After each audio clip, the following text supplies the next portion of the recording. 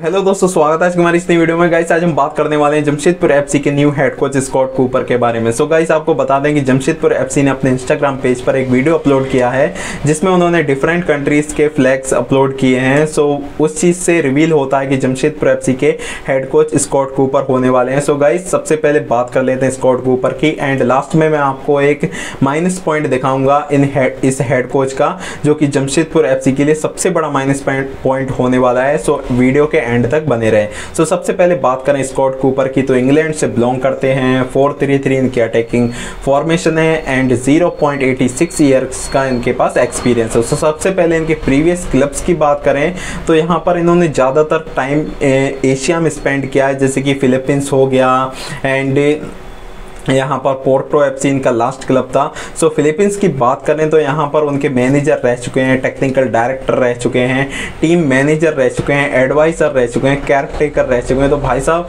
Philippines के लिए इन्होंने बहुत कुछ किया है। एंड आपको बताते हैं, सबसे बड़ा एक काम यहाँ पर है कि लिसेस्टर सिटी जो कि मेन सॉरी प्रीमियर लीग का क्लब है, उनके यूथ टीम के हेड कोच ये रह चुके हैं। सो इनका यही एक प्लस पॉइंट है।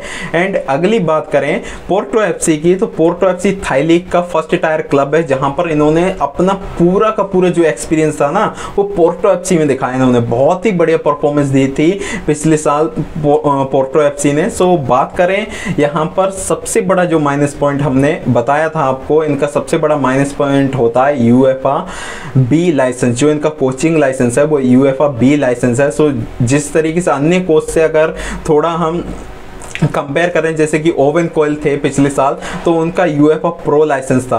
और नॉर्थ ईस्ट यूनाइटेड एफसी के कोच की बात करें जॉन पेड्रो बना लेगी तो उनके पास यू एफ़ प्रो लाइसेंस है। चार्ल्स कुदरत के पास यू एफ़ प्रो लाइसेंस है ओडिशा एफ़ के सरजी लोबेरा की बात करें तो उनके पास कोचिंग ट्रेनर का लाइसेंस है, जो कि एक मास्टर ऑफ़ फुटबॉल कहलाते हैं।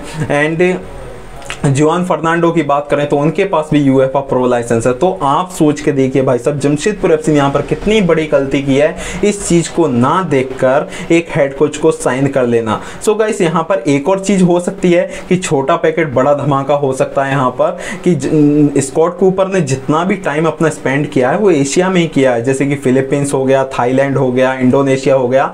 तो इस तरीके के इलाके में उन्होंने अपनी कोचिंग को दर्शाया है। सो हो सकता है कि जमशेदपुर एफ़ में आकर वो थोड़ा बेटर कर जाएँ क्योंकि यंग प्लेयर्स को खिलाना वो ज़्यादा प्रीफर्ड करते हैं। इसीलिए उन्होंने सनान मोहम्मद को साइन किया है और जैपनीज जैपनीज लीग से वो काफ़ी सारे न्यू प्लेयर्स को लेकर आ रहे हैं। तो मुझे लगता है कि ओवरऑल काफ़ी ज़्यादा एक्सपीरियंस उनके पास है एशिया में खेलने का।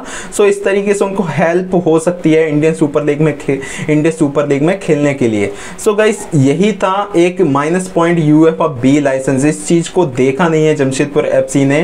तो मुझे नहीं पता कि देखा है कि नहीं, ये सब डिपेंड करता है मैनेजमेंट के ऊपर, लेकिन हमने इस चीज़ को कवर किया है। जिस तरीके से और अन्य कोच के पास लाइसेंस है, उस तरीके से इनके पास भी होना चाहिए था। यू एफ़ बी लाइसेंस भाई सब मुझे यहाँ पर बहुत ज़्यादा सरदर्द हो रहा है भाई, लेकिन देखते हैं, छोटा पैकेट बड़ा धमाका हो सकता है। सो so गाइस ये है जमशेदपुर एफसी के new head coach Scott Cooper so guys अगर आपको कुछ भी जानना है तो मुझे ज़रूर कमेंट कीजिए। अगर आपको कुछ भी लग रहा है कि स्कॉट कूपर के बारे में तो मैं अलग से एक और वीडियो बना दूँगा। सो उसमें हम बातचीत कर लेंगे कि हाँ भाई स्कॉट कूपर इस तरीके के हेड कोच हैं। सो गाइस मिलते हैं अगली वीडियो में एंड टाटा बाय बाय जम के खेलो जमशेदपुर।